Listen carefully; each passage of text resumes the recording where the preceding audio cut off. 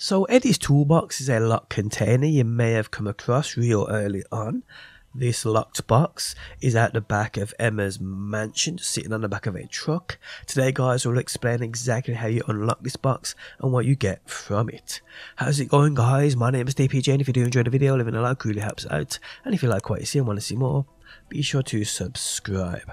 So, at the back of Emma's mansion, you've probably seen that locked box called Eddie's Toolbox.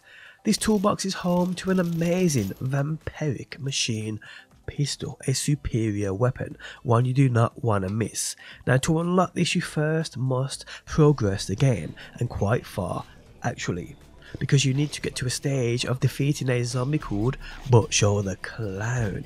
Now this boss you meet within a mission called Boardwalking Dead. The mission takes place within that Santa Monica area, so it is quite late on. The mission consists of you trying to retrieve Dr. Reed's blood drive. So this, uh, if you stick to the main story quest line, shouldn't actually take you too long. It just depends if you're trying to complete everything as you go on. So either way you will eventually get here. It's an unavoidable boss so you must take this clown out. More this type then, once you do take this enemy out, will spawn across the lands. From here guys, you want to head back to Bel Air and to that very, very first mansion you step foot in.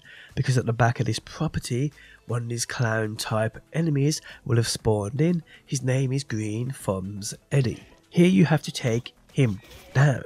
Once you do guys, you are rewarded the keys for Eddie's toolbox.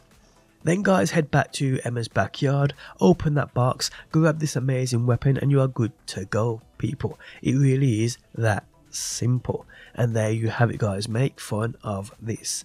On that note, the end of the video has arrived. If you enjoyed it, leaving a like really helps out. If you like what you see and want to see more, be sure to subscribe and hopefully guys, I will see you on that next one.